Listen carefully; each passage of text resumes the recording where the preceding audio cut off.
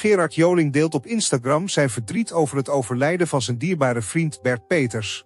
De zanger herinnert zich de vele lachbuien, geweldige reizen en gezellige momenten die ze samen hebben beleefd.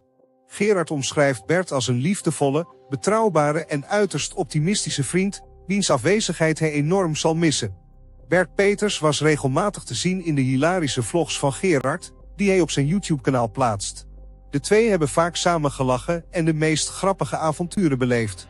Gerard laat weten dat hij nog recentelijk meerdere keren bij Bert in het ziekenhuis op bezoek is geweest en samen koffie heeft gedronken.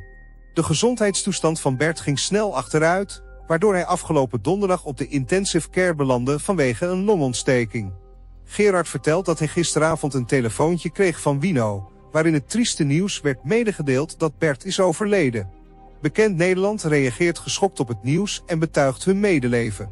Wendy van Dijk schrijft, die lieve leuke Bert. Wat erg. Wat een schok voor iedereen. En wat een enorm gemis. Ook Irene Moors is geschrokken en wenst Gerard veel sterkte toe.